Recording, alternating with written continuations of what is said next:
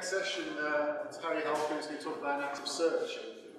Harry was uh, had quite an eventful morning at the airport, so we're very lucky that he made it here. We have to switch sessions around. But uh, anyway, good to have you here, and uh, Okay, so uh, I actually did my PhD in informatics here, uh, and now I'm at the World Wide Web Consortium uh, over at the Computer Science and AI Lab at MIT. So I think the difference between this kind of talk and your traditional philosophical talk is that I will probably be uh, somewhat less formal. Um, what I'm going to do is more of a sort of genealogy of how the web and search sort of came out of a certain, I would say, uh, lesser known philosophical tradition, and how I think that this tradition actually does justice to some of the uh, intuitions that we're having around socially extended knowledge, and then we'll leave a lot of the really hard questions up for debate. So, um, it's a bit old fashioned, but it's what I did here in Edinburgh.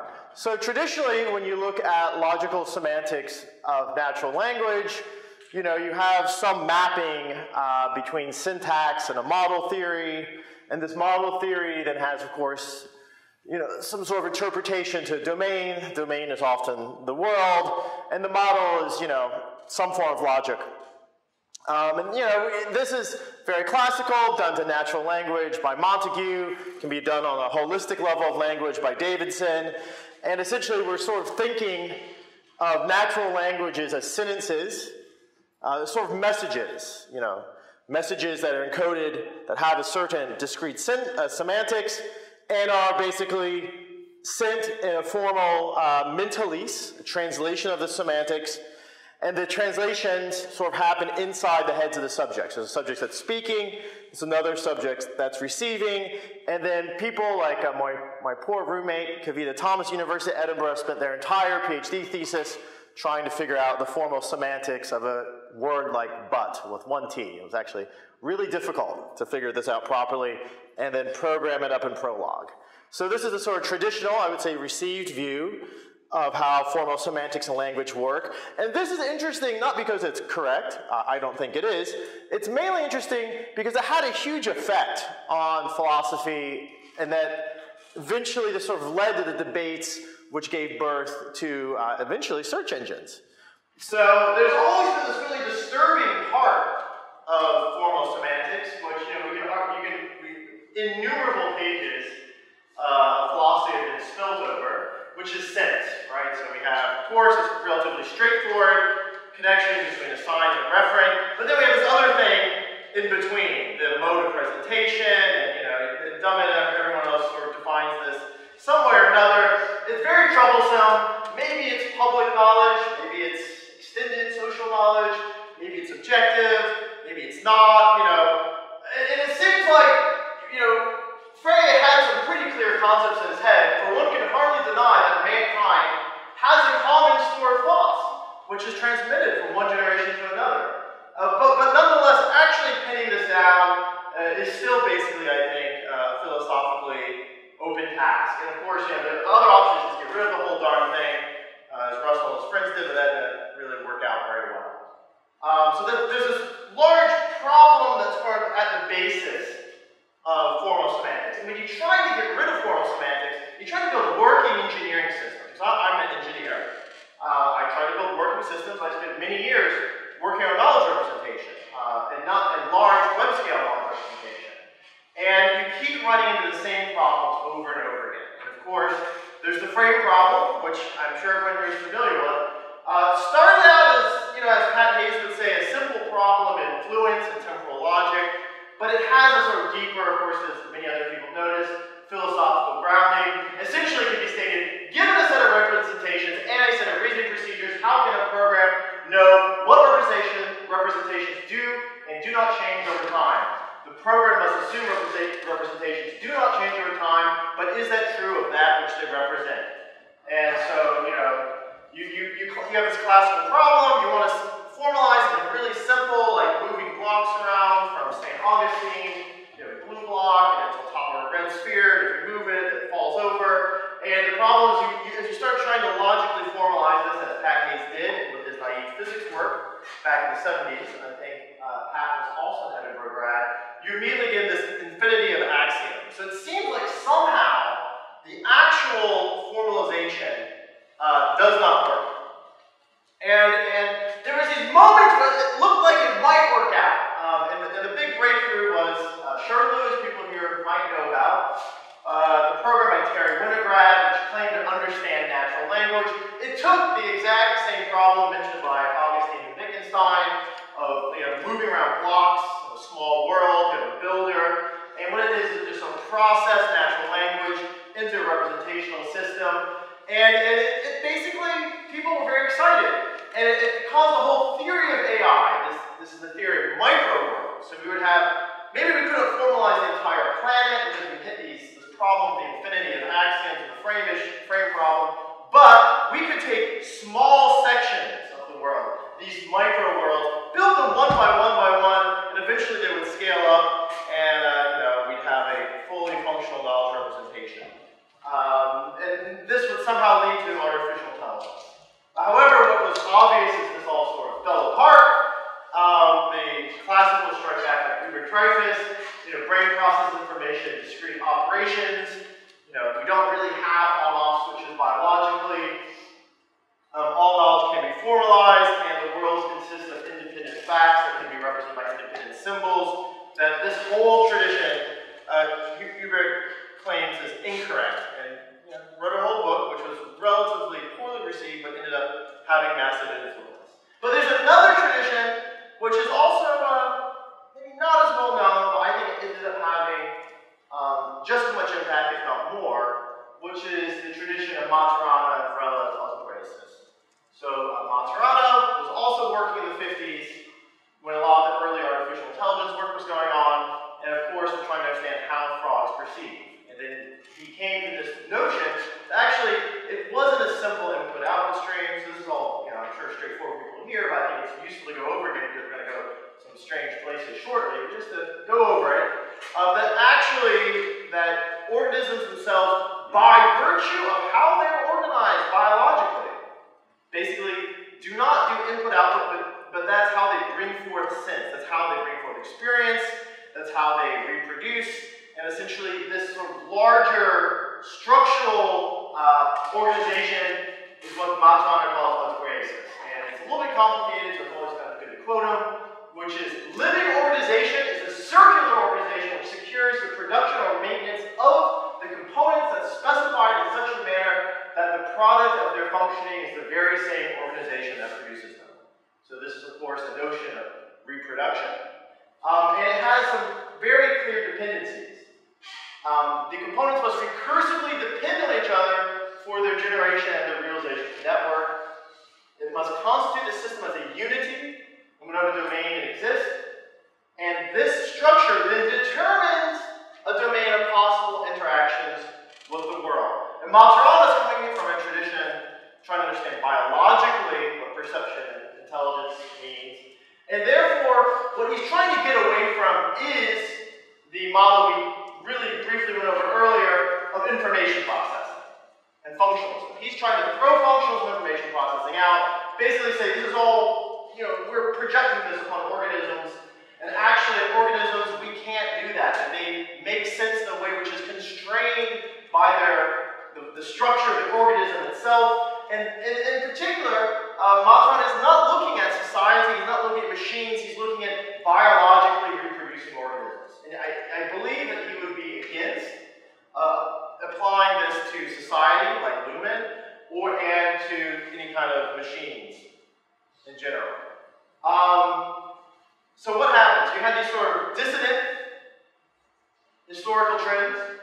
You had a sort of Heideggerian critique coming via Dreyfus, sort of critique coming from out of the blue, say self-invented by Maturana. And you had attempts to keep creating different formal systems as first-order predicate logic, as championed by Pat Hayes, and other forms of logic seem unable to get past this, this micro-world problem, the frame problem. What they started doing is that the artificial intelligence researchers started creating more and more complicated knowledge representation languages. Eventually, uh, creating a knowledge representation language, uh, which Henry's knowledge that he worked on, called KRL, simply the knowledge representation language. Uh, the problem is as these representation languages got more and more complicated, it became harder and harder to understand what they were doing, if, and they couldn't even function to do anything at all. so eventually, even Winograd, who created Chern sort of gave up. And when Fernando Flores, a student of Maturana's, uh, showed up, started discussing, you know, Heidegger, autopoiesis, you know, Winograd basically said, well, look, this is great stuff. It answers why everything I've done so far has failed. However, engineers can't understand it. So we're going to write it down the way that engineers can actually understand and move from representing the world to having computers become a tool for communication. And this, of course, is a very good book, which unfortunately is not read much anymore. Uh, you know, interpretation philosophically can be shaky, but let's just regard it as a very important book in its own right which is Understanding Computers and Cognition by Winograd and Flores. And then he makes several interesting observations. First is the observation of the breakdown. That ultimately trying to move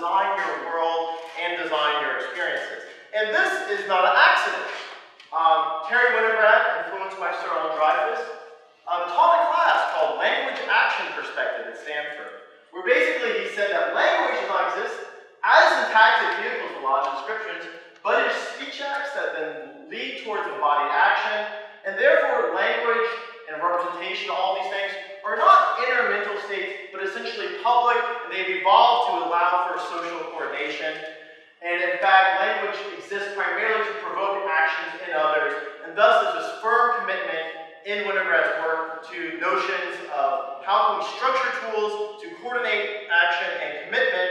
And sorry, oh. Anyways, so what's really important about this is that it's not accidental, that actually uh, Larry Page and Sergey Brin were Winograd students at Stanford that this entire sort of thinking around how we should move computers away from traditional notions of knowledge representation and towards language as a sort of action-oriented but engineered phenomenon came out of the sort of nexus of Winograd, Heidegger, and Maturana. And the second nexus that kind of gave birth to search engines in the web is Wittgenstein.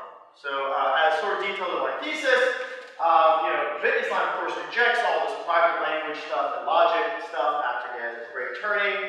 And in his Cambridge lectures, the Blue and Brown books, uh, Wittgenstein, of course, had the famous uh, meaning is use thesis, and the person who actually took the notes for the Blue and Brown books was Margaret Masterman. And when she was trying to understand how, what could it mean to actually study language, and when you don't care about formal semantics, you really want to look at the usage, she started and when you start collecting tons and tons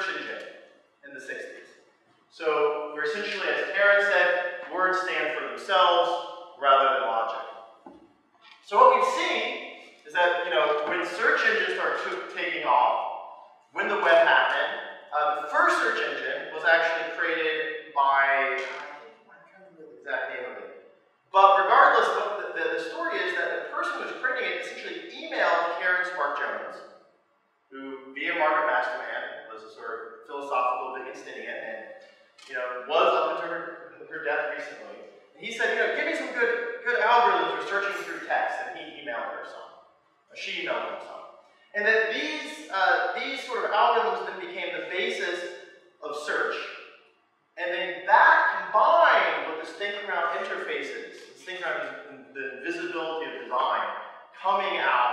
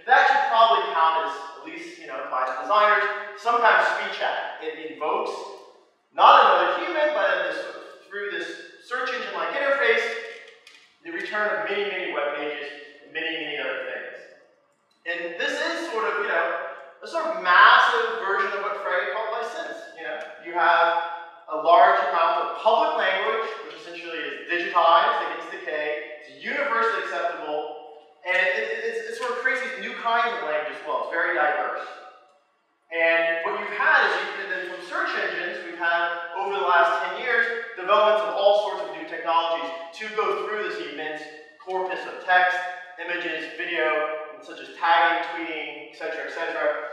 And these all the sort of cognitive trails when you're searching through them, and then these are then the foundation of the data which is sent back to the algorithm and then data mining. So we're going to go through this process really quickly. Um, it's interesting if you think if you think about the fact that you, that this sort of deviant philosophy of language led to these technologies, which led to a massive explosion of representations.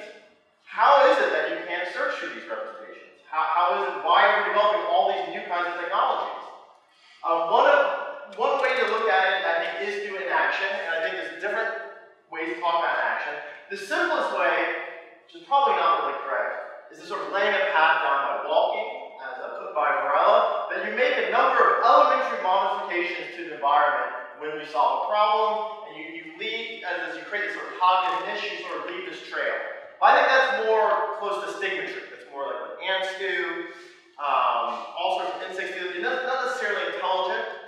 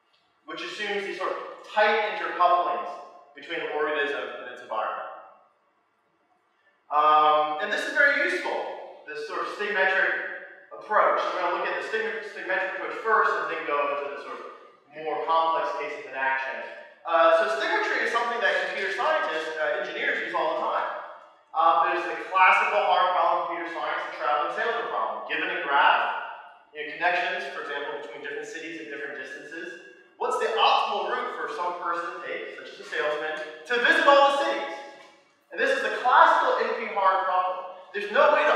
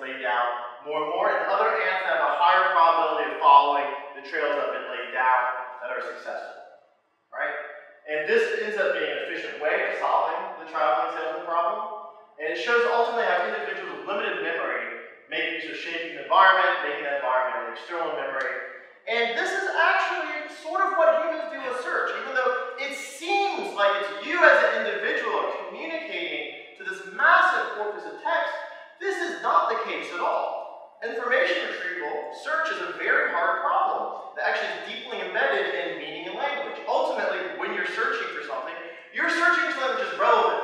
But whenever you ask an engineering computer scientist, what do they mean by relevance, they can't really give you an answer. It's not whatever people are looking for. And so essentially, because you can't analytically determine what people are looking for, you basically look at all their searches, combine with the searches from other people, and combine with their previous searches, and use a sort of ant colony optimization, sort of stigmergic approach to attempt to solve this, the, the, search problem. So then you can basically try, try different algorithms, different variations, taking, taking into account different sets of data. For example, some search engines don't look at what other people are searching. Some search engines don't look at your history. This is a personalized search. Uh, some search engines look at what your only what your friends are searching for and weight those higher. And the, as you combine these kinds of sources of data, you get different and diff, uh, different kinds of algorithms which have different kinds of results, and then they can be empirically tested. But ultimately, this sort of massive empirical testing is what Google's doing every time it presents you a search result, and you click it or not, it records this, and attempts to determine the efficiency of its algorithm. Um, and of course, what happens is that there, that search engines, essentially, this is very sparse? You know, you type in only a few keywords, you get some search engines back, often the keyword's ambiguous, often it's very hard for Google to figure out what you're doing. So there's been a massive investment over the last number of years looking for other ways of finding relevant, relevant information.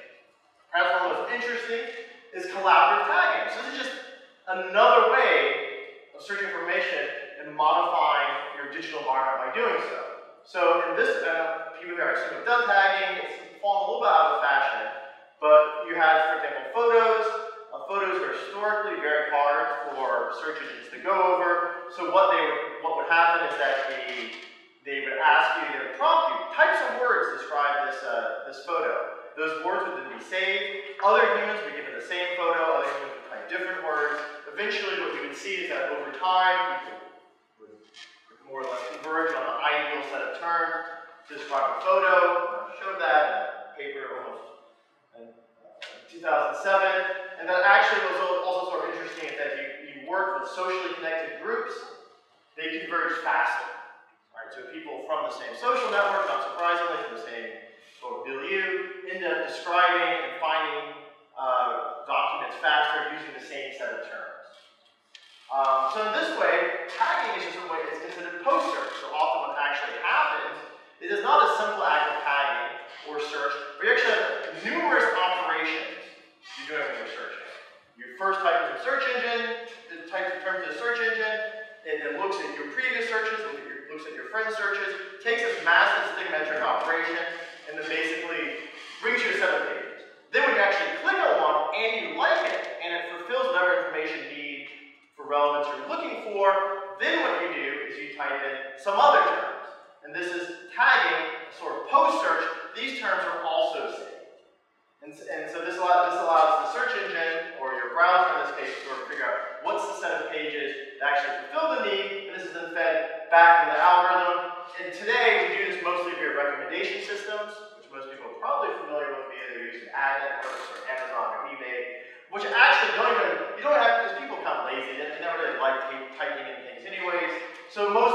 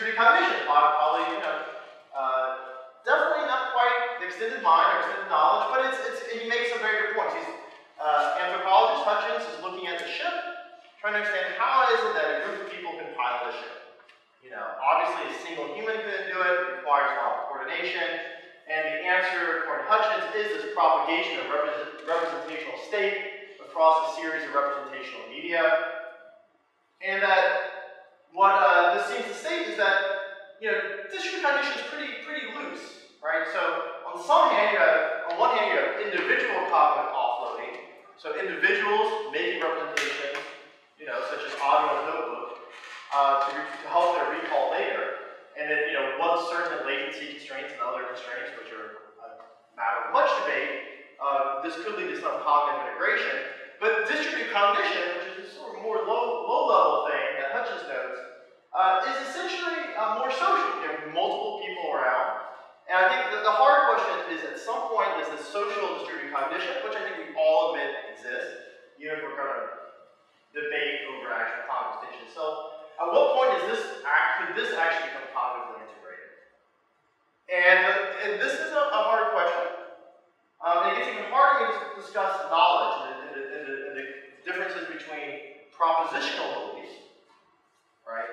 Uh, dispositional beliefs, uh, sort of the classical thinking around uh, logic and natural language, and the sort of more embedded embodied and active approach that we're now seeing, and this evolution from Google search, searching through terms, to Google Now, in which information is being brought to you.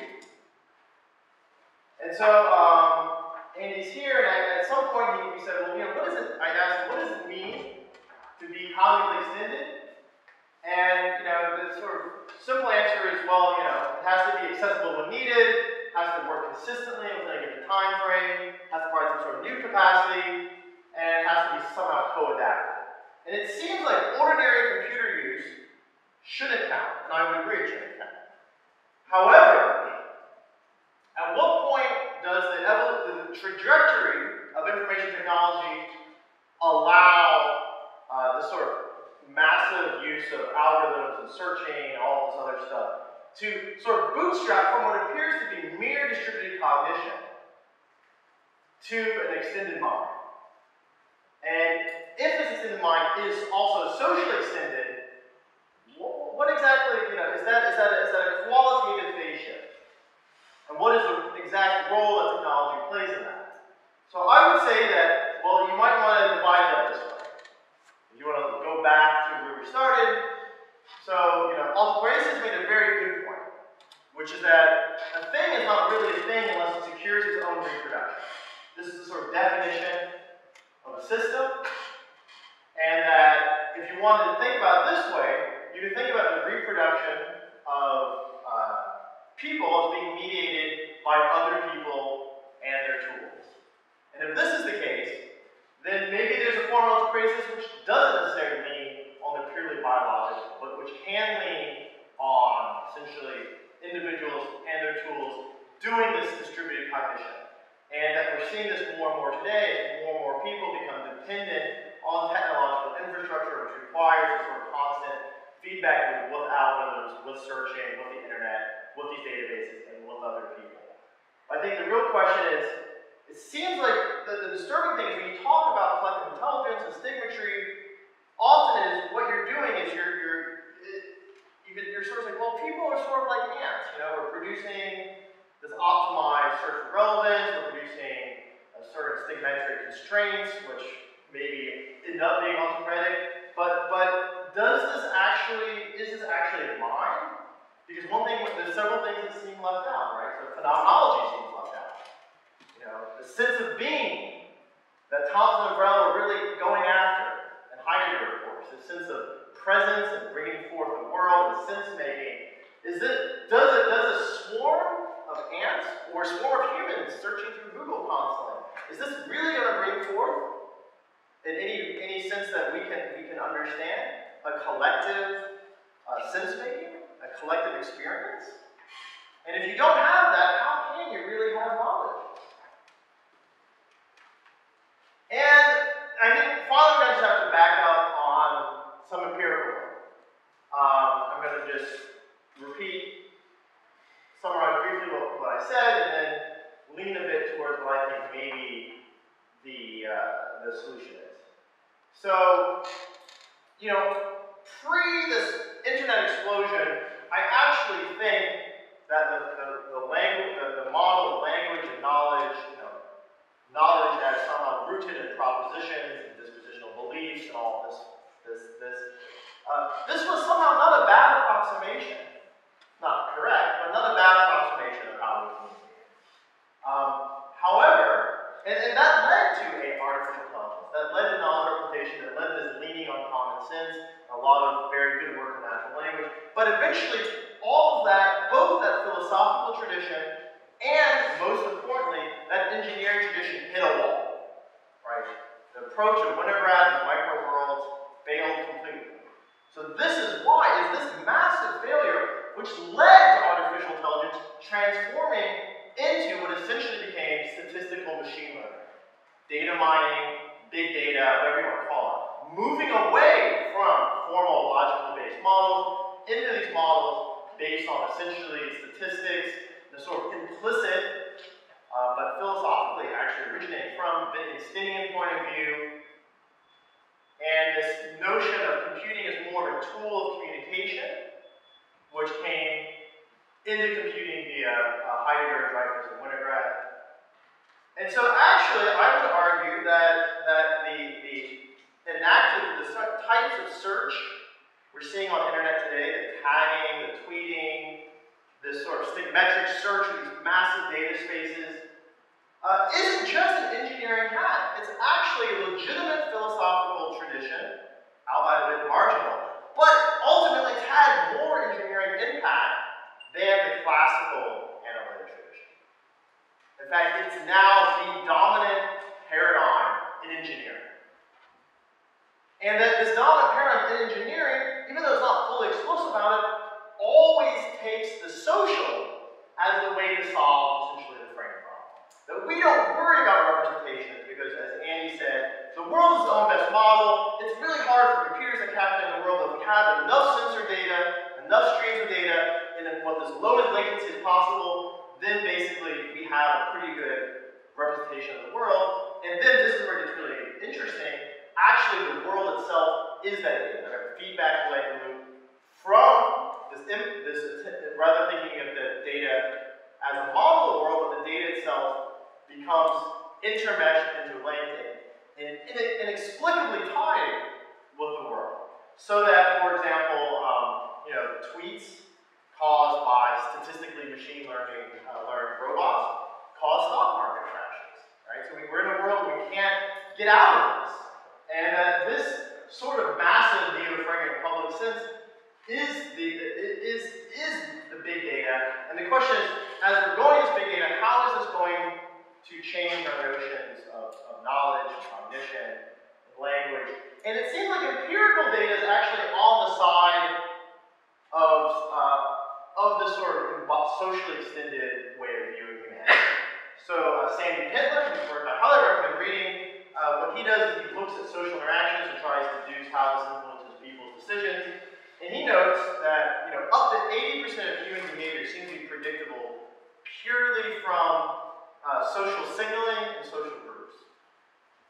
That the that the use of sort of language and reasoning, all the stuff, I mean, humans definitely do it, definitely for a reason It's actually the minoritarian reason and minority reason for most of our behavior.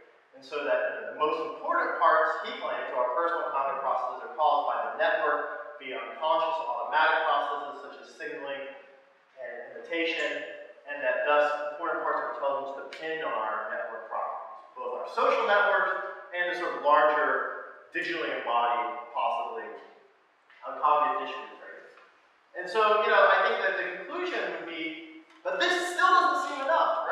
That's still not really the extended mind. This still is the, the view of humans as ants, right? That we're ruled by these unconscious properties, and we're actually, what we're really interested in, I think, and the question which I'm not going to answer here, but I hope other people answer, is, is it possible that the sort of socially extended and technologically mediated form of intelligence actually can lead to genuine cognitive integration which should lead to a genuine collective intelligence, not a mere stigmergic intelligence, but a real enact, real enaction, a real bringing forth of sense, bringing forth of the world. And if that is the case, then it's just the fact that the individual actually is the wrong unit of analysis for cognition and knowledge. Because actually, all along, these have been socially extended, but now becomes more and more evident because of the spread of technology and the spread in particular of the internet and big data.